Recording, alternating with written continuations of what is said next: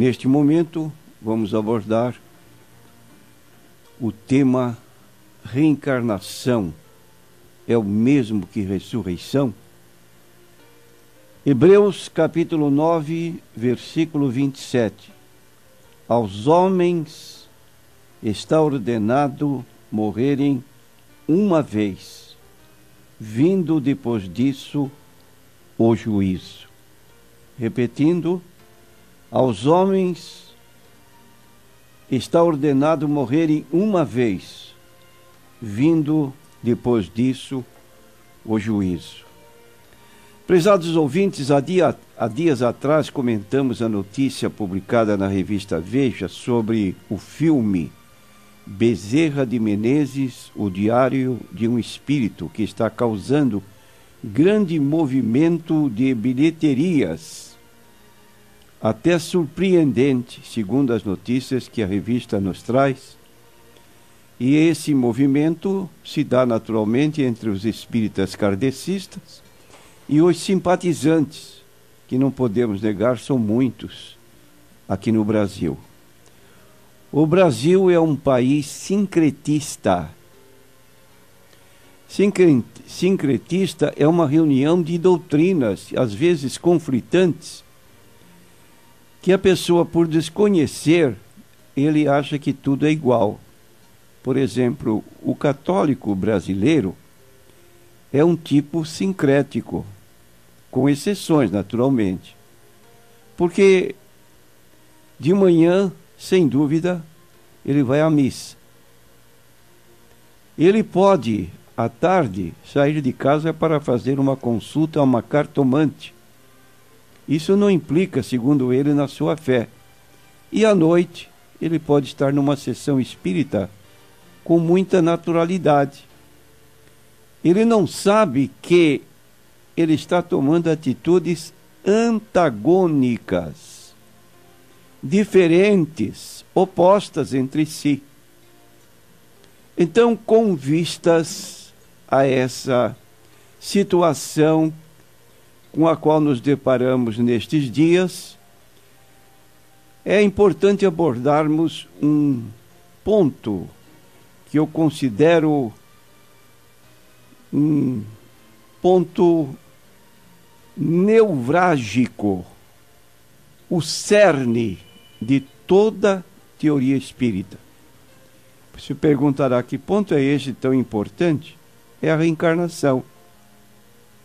Então nós temos a chamada teoria da reencarnação justificada para aqueles que costumam ler a Bíblia como se a Bíblia provasse essa teoria da reencarnação. E Allan Kardec então nos diz que a reencarnação fazia parte dos dogmas judaicos sob o nome de ressurreição. Significando isto, quando você lê na Bíblia a palavra ressurreição, segundo Allan Kardec, você deve entender que ali se trata da reencarnação e não propriamente da ressurreição. Então você perguntaria qual é a diferença entre a palavra reencarnar e a palavra ressuscitar. Quero dizer que reencarnar, segundo o próprio Kardec, é o ato ou o efeito da pluralidade de existências, ou seja, vários corpos com um só espírito. Então, o espírito primeiro se encarna em alguém, depois se encarna em outro, em outro corpo, um terceiro, um quarto, um quinto, quantas vezes forem necessárias até que ele se torne um espírito puro e pare nesse vai e vem de nasce e renasce. Já ressurreição é uma palavra de origem grega anastasis, que significa levantar-se, erguer-se, sair de uma situação para outra, E no sentido bíblico, ressurreição significa a volta da união entre o corpo e o espírito após a morte física. Então, todos nós cristãos aguardamos o dia da ressurreição. E para guardarmos esse dia da ressurreição, estamos firmados na autoridade da Bíblia Sagrada, que nos conta da ressurreição corporal do Senhor Jesus Cristo e dela faz a promessa para nós também um dia termos o espírito retornado ao corpo que está na sepultura, para que este se levante e possa viver novamente num corpo glorificado igual ao corpo do Senhor Jesus Cristo. Então, repetindo, ressurreição significa a volta da união entre o corpo e o espírito após a morte física. É o que nós chamamos a palavra morte. Não é aniquilamento, é separação que se dá entre o corpo que morre e a alma que sai, como diz o livro de Gênesis 35, versículo 18. Saindo-se-lhe a alma, porque morreu, em 1 Reis 17, 21 a 24, nós encontramos o servo de Deus ressuscitando um menino que estava morto, e diz o texto: voltando-lhe o espírito, ele ressuscitou. E na Bíblia nós encontramos poucos casos de ressurreição. Poderíamos indicar sete exemplos de ressurreição, porém tenha presente o seguinte: ressurreição na vida natural, para continuar vivendo aqui na terra por mais alguns anos e vindo depois a se dar a morte. E nós temos, paralelamente com isso, um outro tipo de ressurreição que nós chamamos ressurreição glorificada, cujo exemplo, em primeiro lugar, se deu com o Senhor Jesus Cristo, sendo ele em 1 Coríntios, capítulo 15 e versículo 20, tido como as primícias dos que dormem mas de fato ressuscitou Jesus dentre os mortos e foi feito as primícias dos que dormem. A palavra primícia tem o sentido de primeiro, o primeiro que se levantou dos mortos com um corpo glorificado para nunca mais morrer. Repetindo, para nunca mais morrer, foi o Senhor Jesus Cristo de modo que com ele se dá a palavra ou a expressão ressurreição dentre os mortos, dizendo com isso que ele é o primeiro, seguindo-se depois os que nele creem, como a Bíblia é chamada ou declara a ressurreição com corpos glorificados para nunca mais morrer. E entre a ressurreição daqueles que pertencem a Cristo, em comparação com aqueles que não pertencem a Cristo, vai se dar um período de mil anos. Primeiro haverá a ressurreição dos justos, e segundo, a ressurreição dos injustos daqueles que recusaram ao Senhor Jesus Cristo. Vou ler o capítulo 20 do livro do Apocalipse, versículo 4, 5 e 6.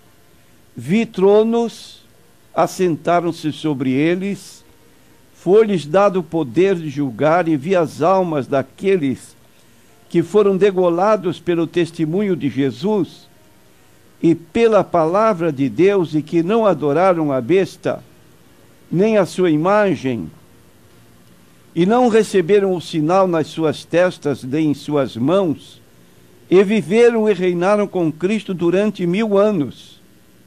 Mas os outros mortos não reviveram, até que os mil anos se acabaram.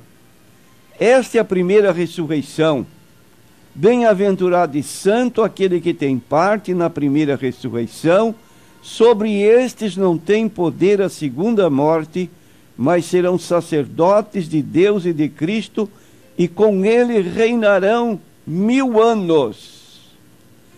Passado estes mil anos, no mesmo capítulo 20 do livro do Apocalipse, nós vemos o desenrolar do chamado juízo final e a partir do versículo 11, então lemos: Vi um grande trono branco e o que estava sentado sobre ele, de cuja presença fugiu a terra e o céu, e não se achou lugar para eles. E vi os mortos, grandes e pequenos, que estavam diante de Deus, e abriram-se os livros, e abriu-se outro livro que é o da vida. E os mortos foram julgados pelas coisas que estavam escritas nos livros, segundo as suas obras. E deu o mar os mortos que nele havia, e a morte e o inferno deram os mortos que neles havia, e foram julgados cada um segundo as suas obras. Então aqui está, dos versículos 11 a 13, a ressurreição dos perdidos que não tiveram parte na primeira ressurreição, mencionada nos versículos 4 a 6 deste capítulo 20 do Apocalipse. Mas eu falei que na Bíblia existem sete exemplos de pessoas que ressuscitaram, uma ressurreição natural e que vieram depois a morrer. Vamos citar esses casos. O filho da viúva em Sarepta, 1 Reis 17, 19 a 22, a que, eu, a que eu me referi. O filho da Sunamita, 2 Reis 4, 32 a 35. O defunto que foi lançado na cova de Eliseu, ao tocar nos ossos de Eliseu, o homem morto ressuscitou Segundo Reis, capítulo 13, versículo 21, a filha de Jairo, o chefe da sinagoga, Marcos capítulo 5, 21 a 43, o filho da viúva de Naim, Lucas capítulo 7, versículos 11 a 17, a ressurreição de Lázaro, no capítulo 11 de João, versículos 1 a 46, e, por fim, Dorcas, capítulo 9 de Atos, versículos 36 a 43. Então, são exemplos deixados na Bíblia de ressurreição do corpo e não reencarnação. Não tem nada a ver reencarnação como ressu com ressurreição. Ressurreição é um acontecimento bíblico. Reencarnação não é, é doutrina de Allan Kardec que milhares e milhares de pessoas hoje seguem.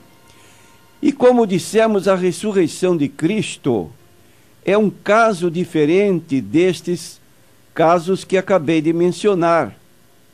E esta ressurreição de Cristo é apontada nas Escrituras Sagradas como a doutrina cerne, a doutrina fundamental das Escrituras Sagradas. Capítulo 1 do livro de Atos, versículo 1, diz o, o escritor Lucas: Fiz o primeiro tratado, ó Teófilo, acerca de tudo que Jesus começou, não só a fazer, mas a ensinar, até o dia em que foi recebido em cima, depois de ter dado mandamentos pelo Espírito Santo aos apóstolos que escolhera, aos, aos quais também, depois de ter padecido, se apresentou vivo com muitas e infalíveis provas, sendo visto por eles por espaço de quarenta dias, e falando das coisas concernentes ao reino de Deus. Lemos aqui então que Jesus se apresentou vivo, corporalmente vivo, foi visto por eles por espaço de 40 dias. E houve um apóstolo chamado Tomé que não creu quando foi informado pelos seus condiscípulos de que Jesus realmente tinha ressuscitado e estado com eles. Diz o capítulo 20 de João, versículo 24 em diante. Ora, Tomé, um dos doze, chamado Dídimo, não estava com ele quando veio Jesus. Disseram-lhe, pois, os outros discípulos: Vimos o Senhor. Mas ele disse-lhes: Se eu não vir o sinal dos cravos em suas mãos, e não puser o dedo no lugar dos cravos, e não puser a minha mão no seu lado, de maneira nenhuma o crerei. Veja que homem, seguidor do Senhor Jesus Cristo, se mostrou tão incrédulo que, além de ver, ele queria tocar para poder crer que realmente Jesus havia ressuscitado. E oito dias depois estavam outra vez os seus discípulos dentro, e com eles Tomé, Chegou Jesus, estando as portas fechadas, se apresentou no meio e disse: Pai seja convosco. Depois disse a Tomé: Põe aqui o teu dedo e vê as minhas mãos. E chega a tua mão e põe-na no meu lado. E não sejas incrédulo, mas crente. E Tomé respondeu e disse-lhe: Senhor meu e Deus meu. Veja a expressão de Tomé com relação à pessoa de Jesus. Senhor meu e Deus meu. Disse-lhe Jesus: Porque me viste, Tomé, creste? Bem-aventurado, bem-aventurados os que não viram e creram. E é tão fundamental como temos apresentado frequentemente, a crermos na ressurreição do Senhor Jesus Cristo e não crermos na reencarnação, como diz o Henri Cristo que anda por aí, fantasiado de Jesus Cristo, dizendo que ele é uma reencarnação do Jesus Cristo. Jesus não reencarnou, ele ressuscitou como lemos, ficou 40 dias aqui na terra depois de ressuscitado, deu provas infalíveis da sua ressurreição corporal e em seguida ascendeu, subiu ao céu à vista de todos, cerca de 500 irmãos ou mais, diz o apóstolo Paulo. Tão prezado ouvinte, você precisa crer na ressurreição do Senhor Jesus Cristo e saber que nós passamos por este mundo, por esta vida, apenas uma vez. Aos homens está ordenado morrerem uma vez, não voltar duas, três, quatro, cinco, dez, cinquenta vezes, reencarnando em vários corpos. Uma vez. E depois e depois juízo e não reencarnação. E no livro de Eclesiastes 12, 7, e o pó retorna ao pó, como era, e o espírito retorna a Deus, que o deu. Para quê? Para juízo individual, do qual resulta a ida para o céu ou a ida para o Hades, que é o mundo invisível dos mortos, para onde foi o rico que vivia nababescamente aqui na terra, não cria numa existência de felicidade ou tormento depois desta vida, e quando acordou do outro lado, estava em tormentos pedindo misericórdia, mas lhe foi negado.